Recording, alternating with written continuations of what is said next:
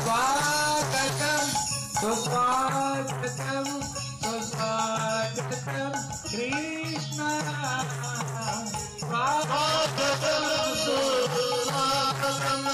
शरणागतम कृष्ण स्वागतम।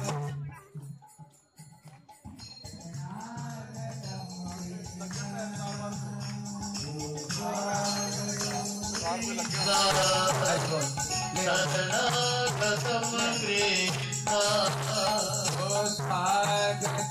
कृष्ण शरणागतम कृष्ण स्वागतम कृष्ण शरणागतम कृष्ण स्वागतम कृष्ण शरणागतम कृष्ण कृष्ण शरणागतम।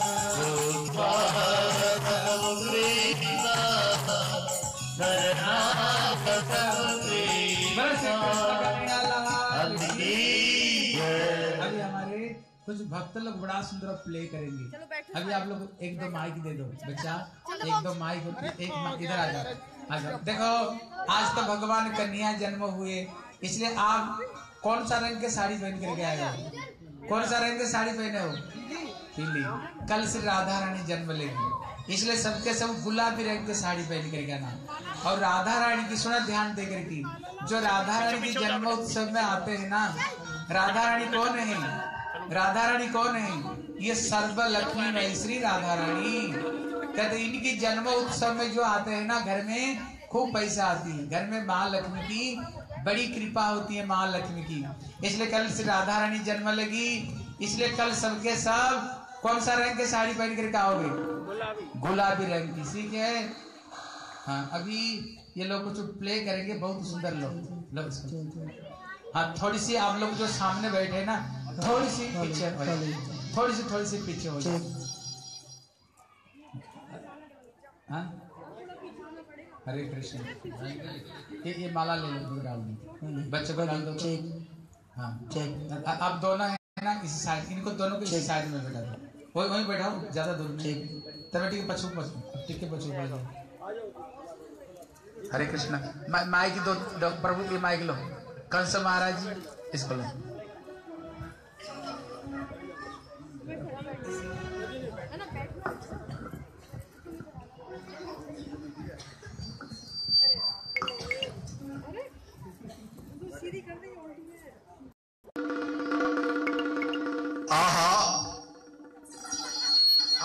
मेरे पिता महाराज, बड़े ही अत्यंत प्रसन्न नज़र आ रहे हैं।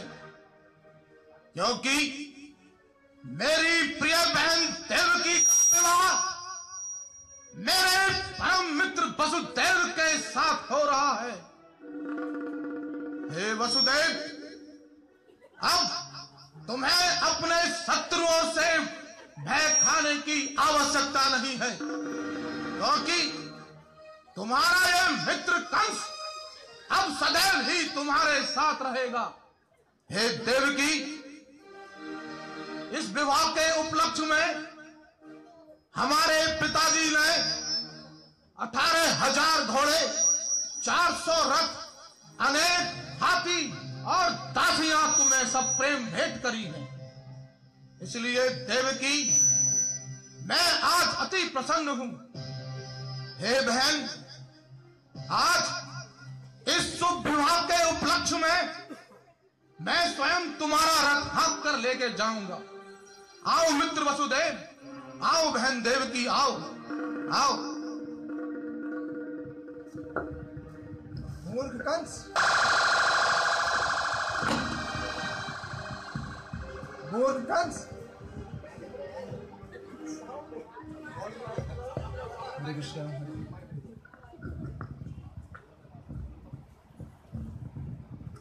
मूर्ख कंस यहाँ वहाँ कहा देख रहा है। मृत्यु ना तो कभी को किसी को दिखती है, और ना ही कोई जानता है कि मृत्यु कहाँ से आती है। तू तो इतना मूर्ख है कि जिसके गर्भ का आठवां बालक तेरी मृत्यु का कारण बनेगा। उसी की शादी में तू आज उत्सव मना रहा है। देख, तेरी मृत्यु अवश्य भावी है।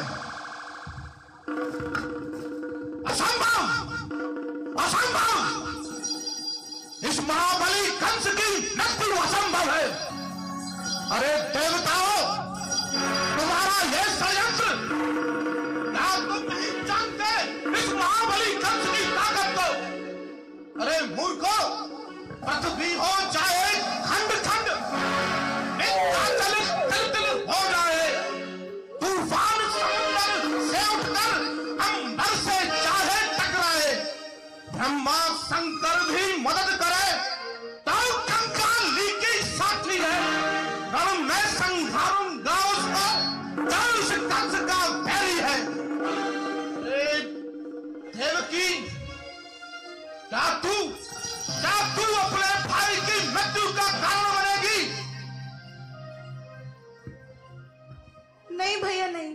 ऐसा नहीं हो सकता। मैं आपके मृत्यु का कारण कैसे बन सकती हूँ? मृत्यु तो अवश्य ही होनी है। आज नहीं तो कल।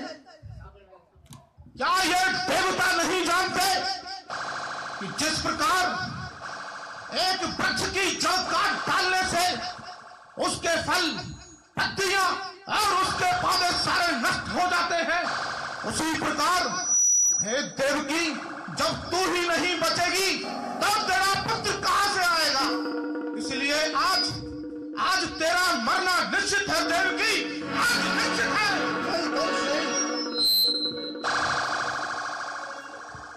मृत्यु तो अवश्यभावी है।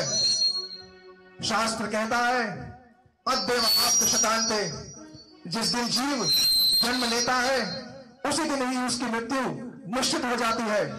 जैसे एक व्यक्ति अपना पैर आगे बढ़ाता है तो स्वतः ही दूसरा पैर अपने आप ही उठ जाता है।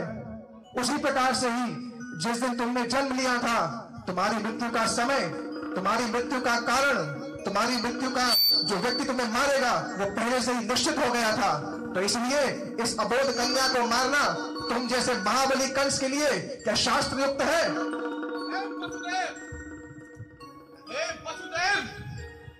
क्या तुम ये चाहते हो? कि इन देवताओं के इस षडयंत्र में मेरी बहन सम्मिलित हो। क्या ये देवकी क्या ये देवकी इस महाबली कंस की मृत्यु का कारण बनेगी? कंस, कोई भी किसी की मृत्यु का कारण नहीं होता। शास्त्र कहता है, कर्म प्रधान विश्व रचि राखा जो तस्करी सही फल शाखा। इसके अनुसार जिस प्रकार का कर्म तुमने पूर्व जन्म में किया था, उसके अनुसार ही आज तुम्हें फल मिल रहा है।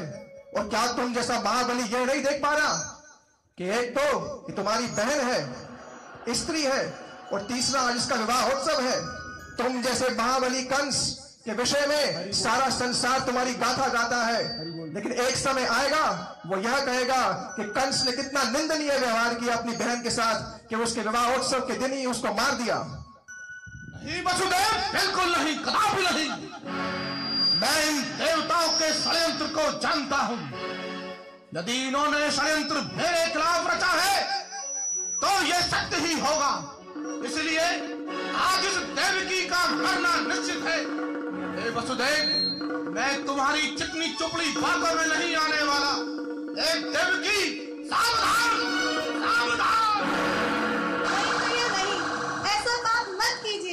एक तो मैं स्त्री और ऊपर से आपकी बहन। ऐसा दुष्कर्म मत कीजिए भैया।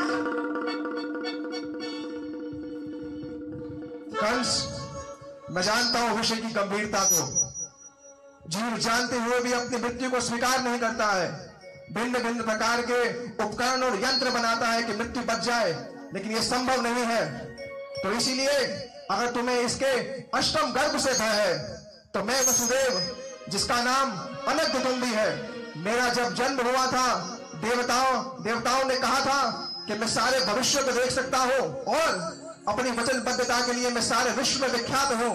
तो मैं वसुदेव, इस सारी की सारी सभा के सामने तुम्हें यह वचन देता हूँ कि जैसे जैसे देवकी की संतानें गर्भ से उत्पन्न होंगी मैं स्वयं उनका पिता होते हुए भी अपने हृदय पे पत्थर रखकर एक एक करके उनको तुम्हें उपस्थित कर दूँगा।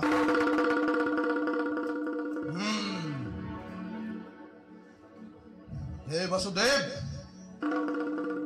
मैं तुम्हारे वचन को भली भांति जानता हूँ कि तुम वचन परायणता में इस संसार में प्रसिद्ध हो। ठीक है मित्र, यदि तुम अपने वचन के अनुसार हो तो ठीक यही ठीक है। लेकिन अब मित्र तुम अपने घर नहीं जाओगे। अब तुम्हें मेरे कारागार में बंदी बनाकर रहकर रहना पड़ेगा।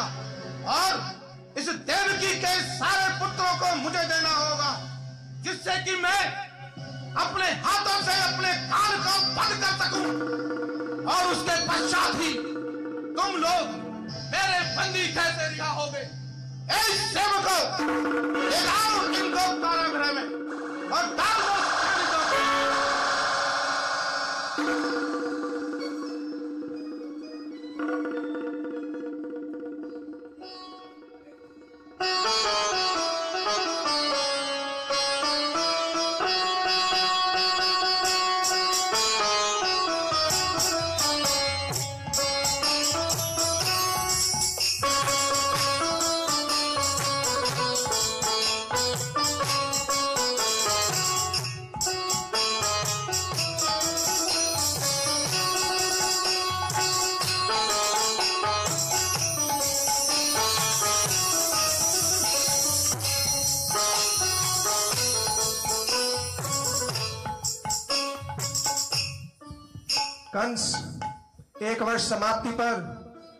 देवकी ने अपने प्रथम पुत्र को जन्म दिया है। मेरे हृदय में अत्यंत उत्साह है, लेकिन साथ ही साथ मैं यह भी जानता हूँ कि इस पुत्र के लालन पालन, इसको प्रेम करने का सौभाग्य मुझे प्राप्त नहीं होगा। अपने पुत्र को तुम्हारे हाथों निर्मम हत्या होते हुए देखते हुए मुझे अत्यंत कष्ट होगा, लेकिन अपनी वचनबद्धता के कारण मैं अपने प्रथम पुत्र को तुम्हें समर्पित करता हे।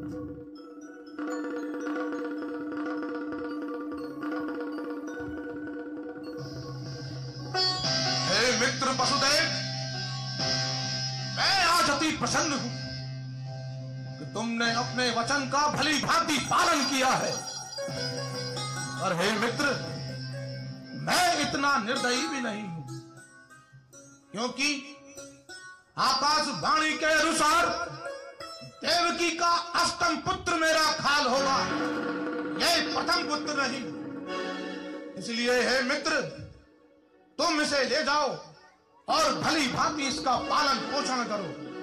लेकिन जब वो अष्टम वो अष्टम जब उस देवकी के कर्म में आए तो मुझे अभिलंब सूचित किया जाए, जिससे कि मैं उसके जन्मोपान उसका अपने हाथों से बंद कर सकूँ। हे मित्र, तुम जाओ। कंस जैसे व्यक्ति का विश्वास नहीं करना चाहिए।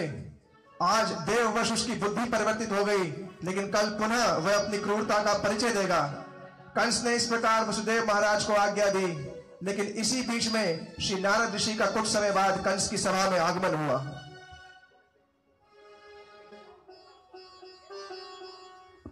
श्रीमन्नारायण नारायण। नारायण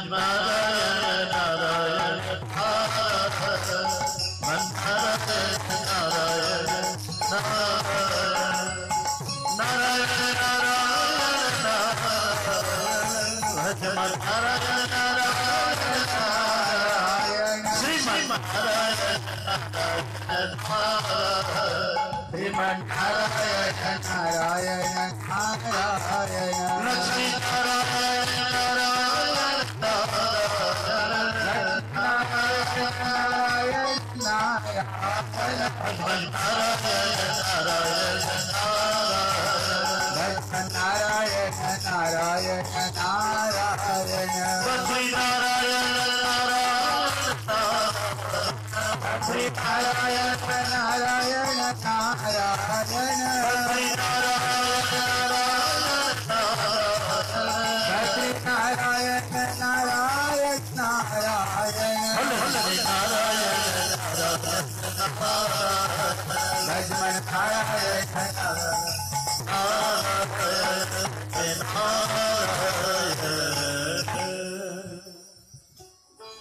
नारायण नारायण। आइए। आइए, देव ऋषि नारद, आइए। महाबली कंस की सभा में आपका स्वागत है। आइए, देव ऋषि नारद जी, आइए आइए। कंस, तुम तो जानते हो कि साधु लोग बिना किसी कारण के किसी के घर पे नहीं जाते। मैं यहाँ पर एक बहुत महत्वपूर्ण कारण के मैं तुम्हारे इस कक्ष में आया हूँ। महाराज, मैं भली भांति जानता हूँ आप जैसे मुनि श्रेष्ठ यूँ व्रता ही किसी की सलाह में नहीं जाते। यदि आप इस महाबली कंस की सभा में आए हैं तो अवश्य ही इसके पीछे कोई विशेष कारण है।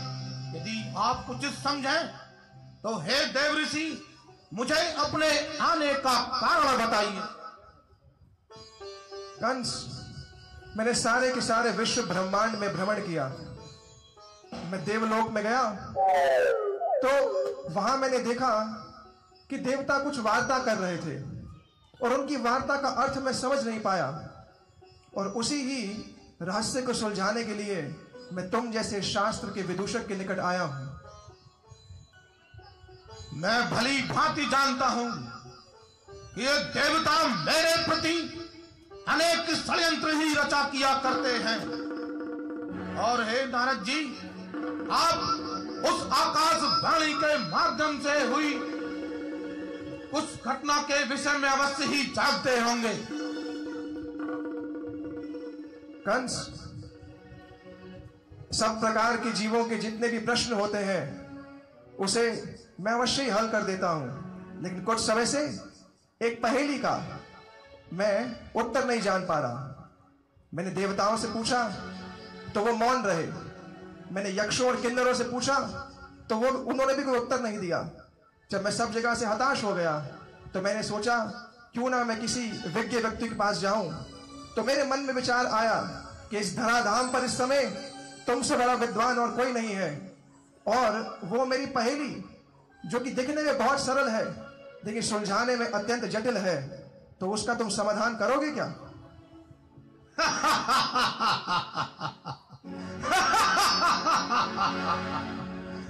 मुनि श्रेष्ठ आप देवताओं के राज ऋषि हैं, और उन देवताओं को आपकी एक छोटी सी समस्या का समाधान भी नहीं हुआ।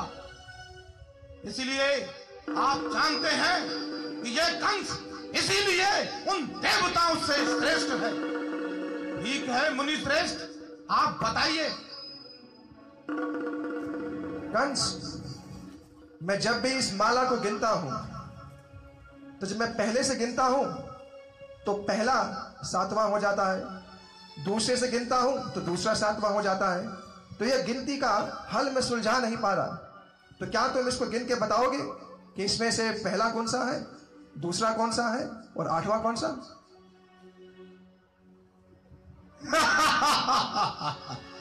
हे, मुनि श्रेष्ठ, इस पहली का उत्तर तो मेरी इस सभा में उपस्थित ये छोटा सा बालक भी दे सकता है। लेकिन ठीक है, आप मेरे ही मुख से सुनना चाहते हैं तो देखिए, ये इस माला में ये प्रथम हुआ, ये द्वितीय, ये तृतीय, ये चतुर्थ, ये पंचम, ये षष्ठ, ये सप्तम और ये अष्टम। मेरी समस्या अभी भी हल नहीं हुई। तुमने पहले से गिना तो पहला पहला हुआ और आठवां आठवां हुआ। अब इसको बीच में से गिनो। हे मुनि श्रेष्ठ, इसको बीच में गिनने के पश्चात भी इसकी संख्या में कोई भी परिवर्तन नहीं होगा। देखिए, यदि मैं इसे यहाँ से गिनता हूँ तो ये प्रथम हो गया, ये द्वितीय, ये तृतीय, ये चतुर्थ, ये पंचम ये षष्ठी ये सप्तम और ये अष्टम। कंस, तुम तो जानते हो कि महापुरुष कोई भी बात प्रत्यक्ष रूप से नहीं कहते। परोक्षवाद ममम प्रियम। वैष्णवों को और महापुरुषों को परोक्षवाद अत्यंत प्रसन्न है। एक घटनाक्रम मैं तुम्हें सुना देता हूँ। मैं देवताओं के लोगों से जा रहा था। वहाँ उनकी सभा के मध्य में मैंने मैंने मैंने ये सुना कि सब के सब देवता तुम्हारी मृत्यु का षड्यंत्र कर रहे हैं। मैंने आकाशवाणी के विषय में भी सुना। आकाशवाणी के अनुसार देवकी का अष्टम गर्भ तुम्हारा काल होगा। तुमने अपने हृदय की दयालुता का परिचय देते हुए प्रथम पुत्र को छोड़ दिया। लेकिन इस माला की गणना के अनुसार कहीं वो पहला आठवां तो नहीं, कहीं दूसरा तो आठवां नहीं, तीसरा, चौथा जिसको तुमने पहला समझ के छोड़ दिया, कहीं वही तो तुम्हारा काल नहीं। ओह, हे मुनि श्रेष्ठ ये विचार तो मेरे हृदय में पन्नी नहीं हुआ। इस पहेली के माध्यम से आपने मुझे मेरी भूल बता दी है मेरा शत्रु प्रथम भी हो सकता है और अष्टम भी। प्रथम कर्म में भी आ सकता है वो द्वितीय कर्म में भी आ सकता है, और तृतीय में भी। अब अब देवकी का एक भी पुत्र जीवित नहीं रहेगा। चाहे वो प्रथम हो, और चाहे वो अष्टम। सैनिकों, मेरा रथ निकालो। आज देवकी को, और देवकी के प्रथम पुत्र को आज मैं चलती डाल डालूँगा। और इस प्रकार कंस ने देवकी के एक एक पुत्रों को मारा। यहाँ अष्टम गर्भ के रूप में श्री कृष्ण जो कि श्री नारायण, जो कि श्री कृष्ण की विलास मूर्ति है, उनका जन्म हुआ। और दूसरे प्रकोष्ठ में श्री नंद बाबा गोकुल में श्री कृष्ण के जन्म के कारण अत्यंत जो है चिंतित है।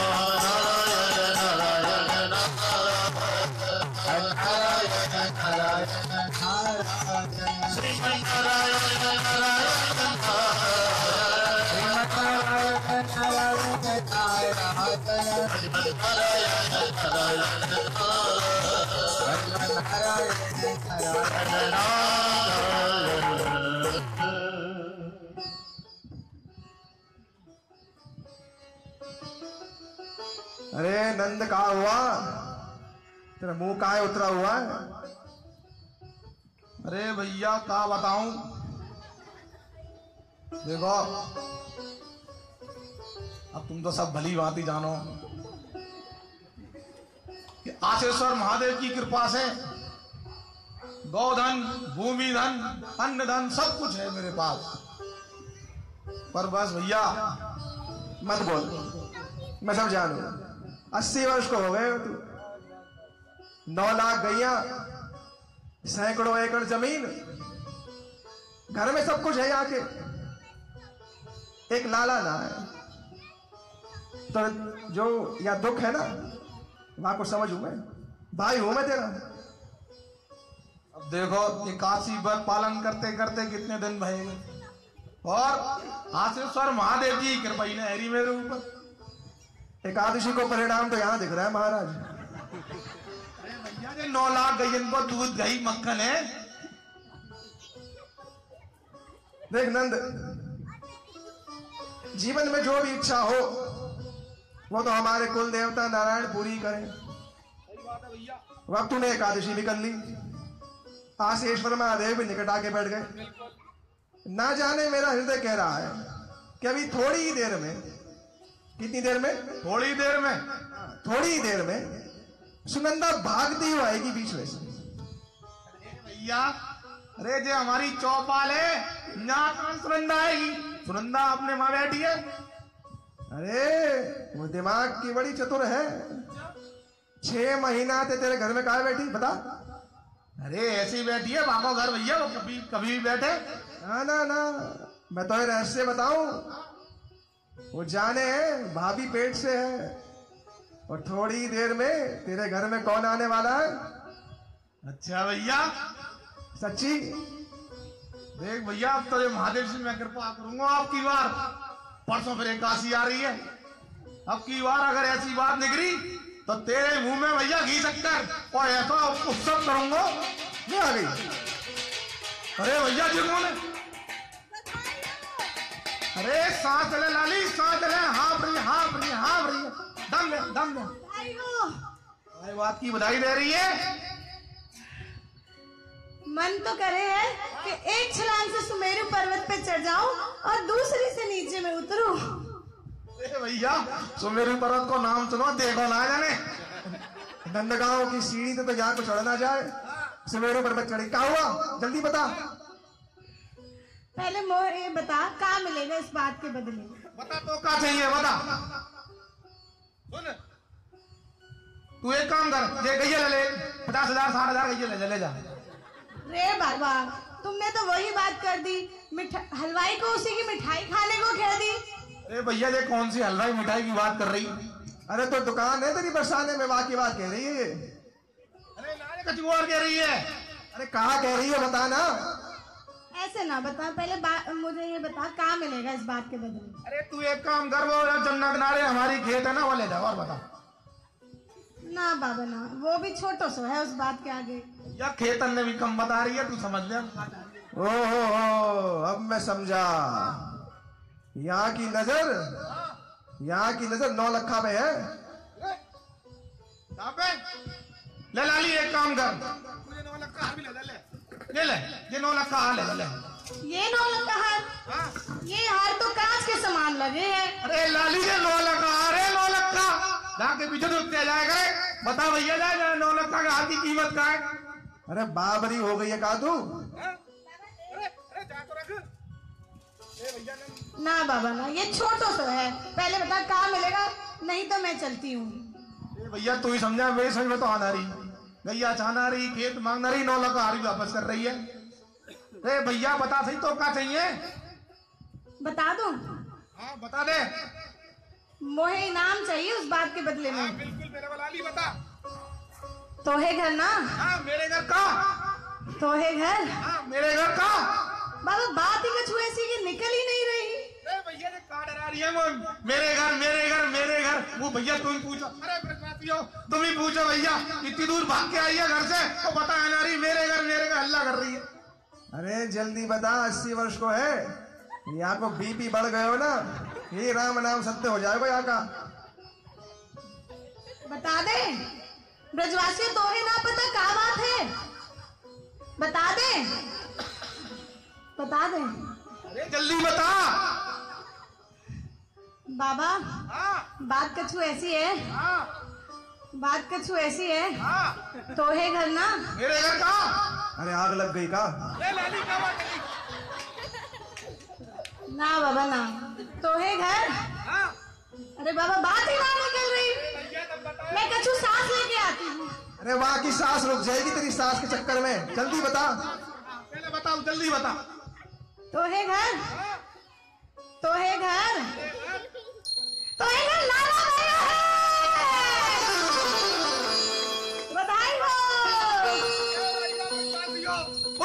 तैयारी करो भैया उत्सव की तैयारी करो। बोलो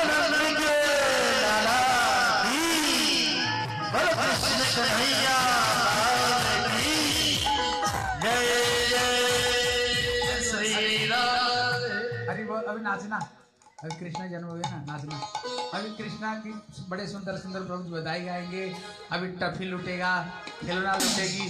सबके सब भगवान जन्म हुए ना इनकी जन्मोत्सव में जो एक बार नाच ले फिर तो उसको किसको सामने नाचने का ज़रूरत नहीं कोई पति को सामने नाचे कोई बीवी को सामने कोई बेटा का सामने कोई सास का सामने कोई ननद का सामने कब तक नाचोगे जब तक ठाकुर का कीर्तन में नहीं नाच लो आज जो ठाकुर के दरबार में नाचेगा सारे नाचना उसकी बंद हो जाएगी हाँ ठीक है बोलो बोलो के लाला जय जय